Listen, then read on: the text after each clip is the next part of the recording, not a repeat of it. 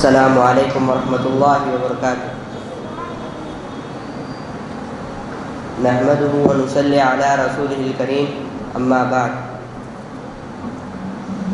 محترم صدر جلسہ و مشفق اساتذہ کرام و مہمانان اعظام اور میرے عزیز ساتھیوں، آج کے اس جلسے میں میری تقریب کا عنوان ہے اللہ کی شکر گزاری۔ اعوذ باللہ من الشیطان الرجیم، بسم اللہ الرحمن الرحیم۔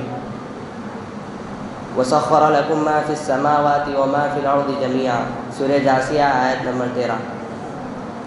اور آسمان و زمین کی ہر ہر چیز کو اس نے اپنی طرف سے تمہارے لیے تابع کر دیا۔ غور کیجیے یہ نباتات کی شادابیاں، آفتاب کی کرنیں، ستاروں کی جگمگاہٹ، پاکیزہ ہوائیں، حیات بخش شیری پانی۔ طرح طرح کے مکانات، رنگ برنگے ملبوسات اور مختلف قسم کی سواریاں۔ یہ سب اللہ کے انعامات ہیں۔ اللہ کا فرمان ہے وَإِن تَعُدُّوا نِعْمَةَ اللَّهِ لَا تُحْصُوهَا إِنَّ الْإِنسَانَ لَظَلُومٌ كَفَّارٌ سورہ ابراہیم آیت نمبر چونتیس۔ اگر اگر تم اللہ کے احسان گننا چاہو تو انہیں پورے گن بھی نہیں سکتے۔ یقیناً انسان بڑا ہی ظالم اور ناشکرا ہے۔ جن نعمتوں سے انسان لطف اندوز ہوتا ہے، انہی نعمتوں کی ناشکری کرتا ہے۔ اس لیے اللہ تعالیٰ فرماتا ہے، وَقَلِيلٌ مِّنْ عِبَادِيَ الشَّكُورُ۔ سورہ سبا آیت نمبر تیرہ۔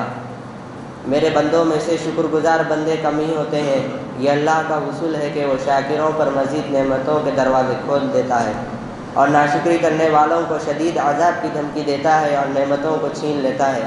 ارشاد ربانی ہے وہ اتعدن ربکم لئن شکرتم لازیدنکم ولئن کفرتم ان عذاب لشدید سورہ ابراہیم آیت نمبر سات۔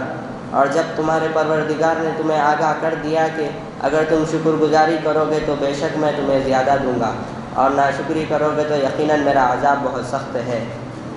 اس لیے ضروری ہے کہ اللہ تعالیٰ کے احسانات کو قبول کرتے ہوئے اس کی شکر گزاری کرتے رہیں۔ موجودہ دور معدیت کا دور ہے، جس میں ہر شخص حرض و تمام میں مبتلا ہے۔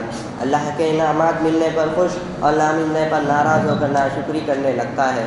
اللہ تعالیٰ کا فرمان ہے فَأَمَّ الْإِنسَانُ إِذَا مَبْتَلَاهُ رَبُّهُ فَأَكْرَمَهُ وَنَعَمَهُ فَيَقُولُ رَبِّي أَكْرَمَنِ۔ وَأَمَّا إِذَا مَبْتَلَاهُ فَقَدَرَ عَلَيْهِ رِزْقَهُ فَيَقُولُ رَبِّي أَهَانَنِ سورہ فجر آیت نمبر سولہ۔ انسان کا حال یہ ہے کہ جب اسے اس کا رب آزماتا ہے اور عزت و نعمت دیتا ہے، تو وہ کہنے لگتا ہے کہ میرے رب نے مجھے عزت دار بنایا۔ اور جب وہ اس کو آزماتا ہے، تو اس کی روزی تنگ کر دیتا ہے۔ تو وہ کہنے لگتا ہے کہ میرے رب نے میری احانت کیا اور ذلیل کیا۔ کفرانی نعمت کی وجہ سے پچھلی قوموں کا انجام برا ہوا۔ تاریخ سے معلوم ہوتا ہے کہ اللہ تعالیٰ نے قوم بنی اسرائیل، قوم عاد اور قوم سمود کو بے شمار انعامت سے نوازا تھا۔ زمین و آسمان کے خزانے ان کے لیے کھول دیے تھے اور سارے عالم پر انہیں فوقیت عطا کی تھی۔ لیکن یہ قوم اللہ کی نافرمانی کی وجہ سے ذلت اور ہلاکت سے دو چار ہوئی۔ یہ انسان کی خاصیت ہے کہ اگر اللہ تعالیٰ اسے مزید نعمتوں سے نواز لے اور اس کی روزی میں اضافہ کر دے تو وہ فخر سے سرکشی اور زمین میں فساد پھیلاتا ہے۔ ارشاد ربانی ہے، وَلَوْ بَسَطَ اللَّهُ الرِّزْقَ لِعِبَادِهِ لَبَغَوْا فِي الْأَرْضِ۔ سورہ شورا آیت نمبر ستاویس۔ اگر اللہ تعالیٰ اپنے تمام بندوں کی روزی کو کشادہ کر دیتا ہے، تو وہ زمین میں فساد مچاتے ہیں۔ قارون کا واقعہ ہمارے لیے درس عبرت ہے کہ جس طرح قارون کو اس کے تکبر و سرکشی اور احسانات خداوندی کی ناقدری کی وجہ سے اس کے محل اور خزانوں سمیت زمین میں دھنسا دیا گیا۔ اگر ہم اللہ تعالیٰ کی نعمتوں پر فخر کریں اور ناشکری کا مظاہرہ کریں تو ہمارا بھی مواقع ہو سکتا ہے۔ اللہ رب العالمین سے دعا ہے کہ اللہ تعالیٰ ہم تمام کو ہر حال میں اللہ کی شکر گزاری کرنے والا بنائے اور ناشکری سے محفوظ رکھے۔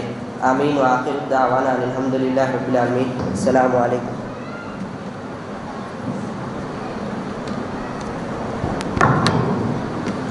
میں سید جابر کو بلانا چاہوں گا۔